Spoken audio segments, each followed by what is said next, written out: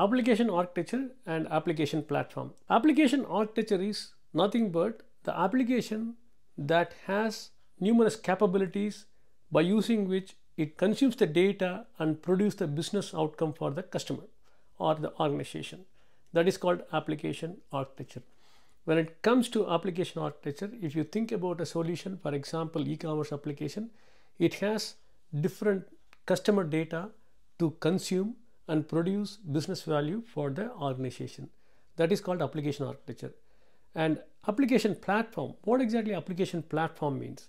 Application platform is nothing but the hardware and software components which are required for the application to run fine in any environment.